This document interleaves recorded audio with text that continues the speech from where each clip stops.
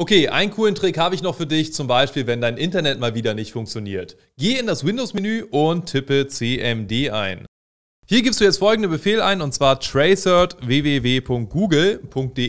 Hier siehst du jetzt den Weg, den deine Verbindung nimmt, wenn du auf google.de zugreifen willst. Das heißt, natürlich gehen wir als allererstes zur Fritzbox. Danach gehen wir hier zu irgendeiner anderen IP-Adresse. Das ist höchstwahrscheinlich unser Provider. Das können wir mal kurz überprüfen. Wenn ich jetzt die IP-Adresse zum Beispiel auf dieser Seite hier eingebe, dann sehe ich, dass ich irgendwo bei Vodafone gelandet bin in der Nähe von Kassel. Ich kann jetzt hier auch irgendeine andere IP-Adresse rauskopieren, die ein bisschen weiter vorne ist und wir gucken mal, wo die ist. Und da sehen wir, aha, wir sind jetzt bei Google und zwar hier, das ist wahrscheinlich in Kalifornien. Okay, wenn wir ein bisschen weiter rausscrollen, sehen wir doch noch nicht in Kalifornien. Offensichtlich stehen einige der Server in Kansas. Die letzte IP befindet sich wieder in irgendeinem Rechenzentrum in Frankfurt. Also ist schon interessant, wie unser Request irgendwie um die Welt geschickt wird, oder? Kanntest du diesen Trick schon? Schreib's gerne in die Kommentare.